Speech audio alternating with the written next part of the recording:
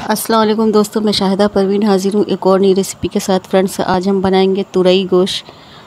बहुत ही टेस्टी बहुत ही यमी जिसे खा के आपको बहुत ही मज़ा आएगा और आप इसे चावल या रोटी किसी के भी साथ खाएँ, आपको बहुत ही अच्छा लगेगा। तो फ्रेंड्स चलिए वीडियो की शुरुआत करते हैं, लेकिन उससे पहले मेरी आपसे रिक्वेस्ट है कि अगर आपने हमारे चैनल को अभी तक सब्सक्राइब नहीं किया है तो प्लीज़ उसे सब्सक्राइब कर दीजिएगा और लाइक और शेयर भी कीजिएगा। और बेल आइकन को भी प्रेस कर दीजिएगा कि हमारी हर आने वाली वीडियो की नोटिफिकेशन सबसे पहले आपको मिल सके। तो चलिए शुरू करते हैं।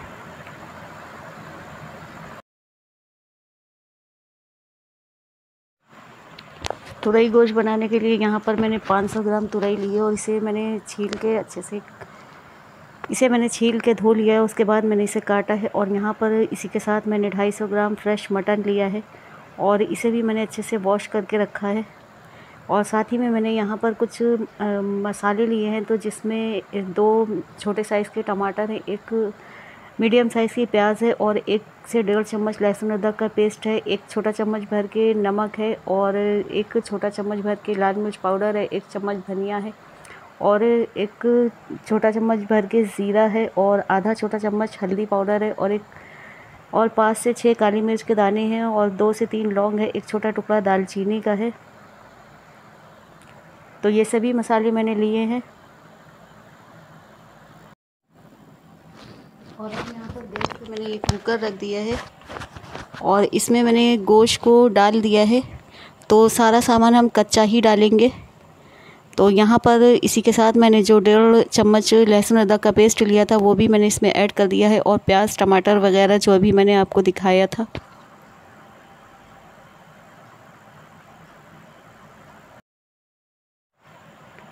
और अब यहाँ पर जो पाउडर मसाले मैंने लिए थे, धनिया मिर्च और हल्दी पाउडर नमक, ज़ीरा, काली मिर्च, दालचीनी और लौंग वगैरह तो ये सभी मैंने इसमें एक साथ ऐड कर दिया है।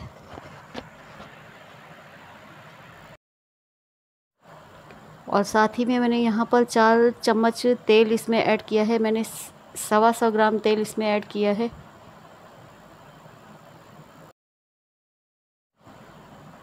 और इसी के साथ ये जो एक तेज पत्ता था, वो भी मैंने इसमें डाल दिया है। और अब यहाँ पर मैंने इसमें हाफ़ हाफ़ कप पानी ऐड किया है तो पानी आप अपने गोश्त के हिसाब से ऐड कर सकते हैं, जितना वो हार्ड हो। तो मैंने यहाँ पर हाफ़ कप पानी ऐड किया है और कुकर में ढक्कन लगा दिया है। तो यहाँ पर हम तीन से चार सीटी ले लेंगे और चार सीटी के बाद हम फ्लेम को लो कर देंगे। तो यहाँ पर फ्रेंड्स चार सीटी हो चुकी थी और फ्लेम को मैंने लो करके दस मिनट तक के कुक कर लिया था तो मैंने यहाँ पर ढक्कन हटा दिया है और गोश्त यहाँ पर गल गया है। तो अभी थोड़ा सा गोश्त हल्का सा मैंने यहाँ पर थोड़ा सा टाइट रखा है कि ये तुरई के साथ भी थोड़ा गलेगा। तो मैंने इसमें, इसी के साथ जो तुरई रखी थी वो भी मैंने इसमें ऐड कर दिया है और अब सभी चीज़ों को हम इस एक साथ कुक कर लेंगे तो यहाँ पर तुरई को ऐड करने के बाद हमने दो मिनट के लिए मैंने ढक्कन लगा दिया है।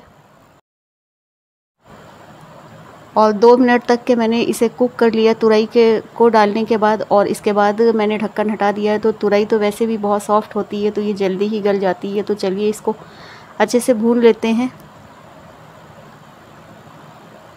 और फ्लेम को मैंने हाई कर दिया है।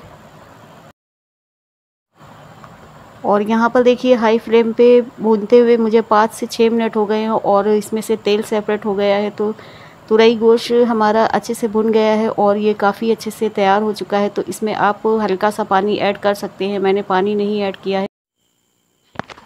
और यहाँ पर फ्रेंड्स मैंने ये बाउल ले लिया है। उसमें तुरई गोश्त को मैंने सर्व कर लिया है।